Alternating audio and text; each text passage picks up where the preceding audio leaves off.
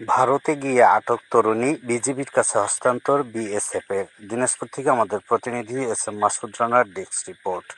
দিনাজপুরের হিলি সীমান্তের শূন্যরেখায় কাজের সন্ধানে সীমান্ত দিয়ে অবৈধভাবে ভারতে গিয়ে দুলালি পাল, বয়স উনিশ নামের এক বাংলাদেশি তরুণী ভারতের বিএসএফের হাতে আটক হয়। পরে বাংলাদেশ বর্ডার গার্ড বিজিবির কাছে ফেরত দিয়েছে ভারতের সীমান্তরক্ষী বাহিনী বিএসএফ। বুধবার উনিশে জুন রাত আটটার দিকে হিলি সীমান্তের শূন্যরেখায় মেইন পিলার দুইশত পঁচাশি সংলগ্ন এগারো সাব পিলারের কাছে বিজেপির কাছে ওই তরুণীকে হস্তান্তর করা হয় বিএসএফ। দুলালিপাল উনিশ, ঠাকুরগাঁও জেলার সদর উপজেলার পালপাড়া গ্রামের জাদুপালের মেয়ে।